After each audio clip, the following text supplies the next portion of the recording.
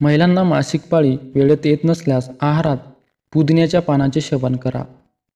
एका घोटमध्ये कधीच पाणी पिऊ नये त्यामुळे छातीत दुखू शकते.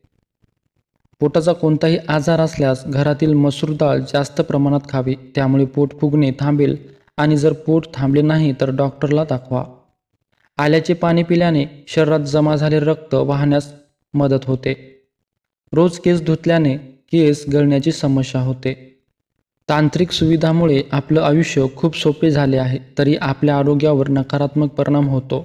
त्यामुळे त्याच्यावर अवलंबून राहता शारीरिक क्रिया करा पायऱ्या चढताना पायऱ्यांचा वापर करा लिफ्टचा वापर करू नये.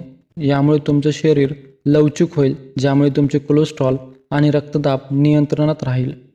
भात फ्रीजमध्ये ठेवून जास्त दिवस वापरू नये त्यामुळे पोट खराब होते आणि अनेक आजार होऊ शकतात. आंघोळीपूर्वी लघवी करणे हे कमजोर पोटाचे लक्षण आहे.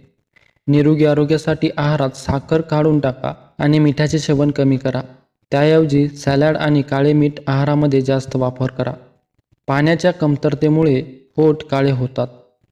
जर आपले एकाकीपणाला बळी पडलेल्या लोकांबद्दल बोललो तर भूक न लागणे वजन कमी होणे अस्वस्थ जाणवणे डोकेदुखी पोळदुखी यासारख्या समस्या दिसून येतात. त्यामुळे मानसिक आणि शारीरिक लक्षणाकडे लक्ष दिले पाहिजे. रोज सकाळी हिरव्या गवतावर चाला याने तुमची दृष्टी सुधारते आणि मधुमेह देखील कमी होतो. सकाळी रिकामे पोटी पपईचे सेवन करणे खूप फायदेशीर आहे. तुम्ही तुमच्या सकाळच्या नाश्त्यामध्ये दलिया ओट्स अंडी पोहे फळांचा रस अंकुरलेले धान्य इत्यादीचा समावेश करू शकता. यामुळे नाश्ता पौष्टिक होतो. फ्रीजच्या पाण्याऐवजी भांड्याचे पाणी किंवा माठाचे पाणी प्या. रात्री अंधारात झोपल्याने डिप्रेशनचा धोका कमी होतो. फॅटी लिव्हरच्या रुग्णांनी कधीही दूध पिऊ नये. जे लोक घाईने जेवण करतात त्यांना हृदयविकाराचा त्रास होतो. त्यामुळे अन्न पचत नाही आणि लट्टपणा वाढतो.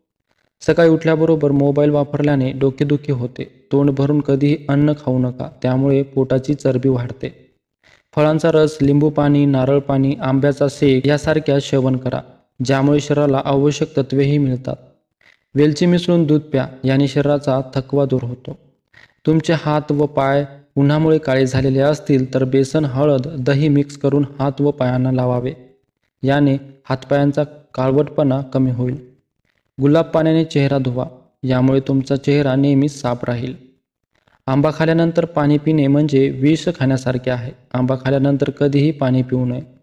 रोज लिंबू आणि आल्याचा रस प्याल्याने वाढलेले पोट कमी होण्यास मदत होते. कोरफडमध्ये हळद घालून चेहऱ्यावर लावल्यास डाग आणि सुरकुत्या नाहीशा होतात. पोटात जळजळण्याची समस्या असेल तर एक ग्लास ताक प्या. त्यामुळे पोटाची जळजळ दूर होईल. जर तुम्हाला हृदयविकाराचा झटका टाळायचा असेल तर रोज कांदा आणि लसूण खा आणि रोज सकाळी सफरचंद खा. रोज दही खाणाऱ्यांना कधीच युरिन इन्फेक्शन होत नाही. एका दिवसात चार ते पाच काजू खाऊ शकता. यापेक्षा जास्त काजू खाल्ल्यास फायदा होण्याऐवजी नुकसान होऊ शकते. ज्यांची पचनशक्ती चांगली नसते त्यांनी रोज ऊसाचा रस प्यावा. मित्रांनो व्हिडिओ आवडला असेल तर लाईक शेअर नक्की करा. धन्यवाद.